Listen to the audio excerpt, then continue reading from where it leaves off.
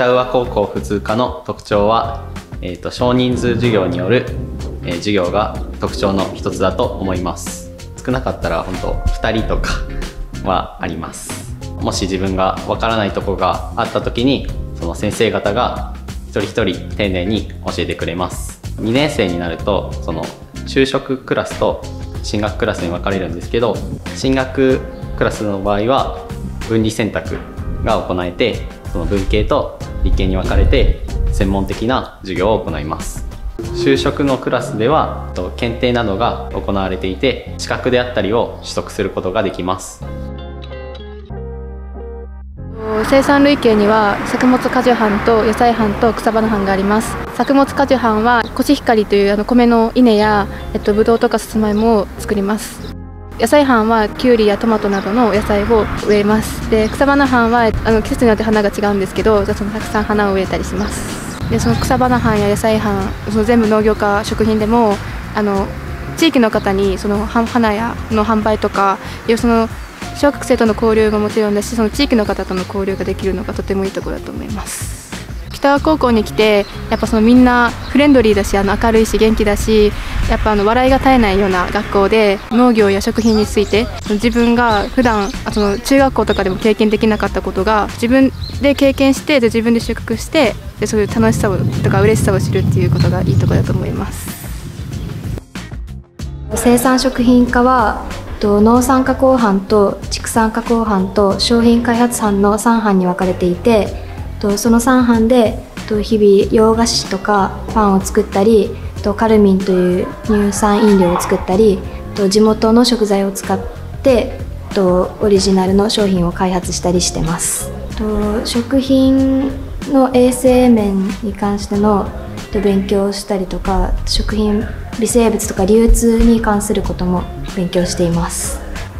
と北浦高校はやっぱり県内唯一の馬術部がある高校だったりとか農業科で農業とか食品についても楽しく詳しく学べるのでそういうのに興味がある人は是非来てほしいなと思います。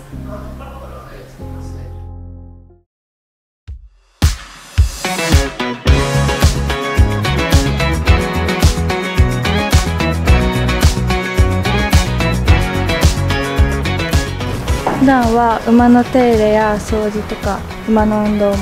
してます、えっと、サラブレッドっていう競技に出る馬やミニチュアポニーって小さい子とかも触れ合える。ちっちゃいポニーもあります。おすすめのポイントは生き物と唯一できるスポーツで生徒が一からお世話全部するので自分のやるべきことを見つけて素早く動いたり将来に役立つことが身につくと思うのでそれは馬術部のいいところだと思います。地域未来留学したら地元ではできないことがたくさんできるので絶対楽しいのでぜひ挑戦して地域未来留学行ってみてください。部活の仲間は元気で一緒にいて楽しいです。学年関係なく仲が良く友達がたくさんできます。みんなで楽しく上を目指しながら一生懸命一つの目標に向かって努力できる部活なのでぜひ入ってください。レスリング部は男子6人女子1人マネージャー1人で活動しています。練習はきついこともあるんですけど部員たちも楽しくてとてもいい部活です。レスリングは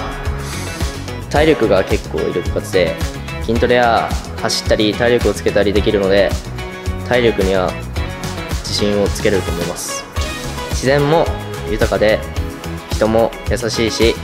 ご飯も美味しいです。迷ってる人は地域も人もいいのでぜひ北川高校に来てください。待ってます。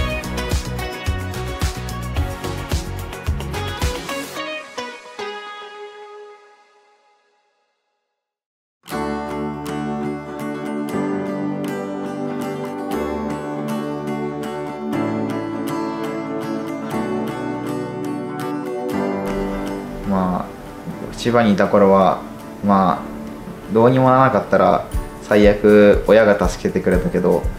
まあ、それがないんで自分でまあどうにかするしかないっていうのがあるんで行動の仕方を変えて、まあ、自力で一人で生活できるように頑張りました。できて1年も経ってないぐらいなんで、まあ、めちゃくちゃ綺麗なのがまず一つですしその北宇和高校の作った木を使っているので、まあ、木の温かみが出てしかも部屋ごとに壁の壁紙の色が違って、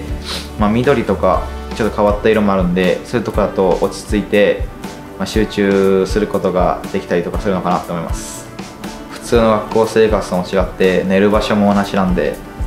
まあより親密な関係になれるっていうかまあ仲良くできるかなって思います。親から離れるので不安でした。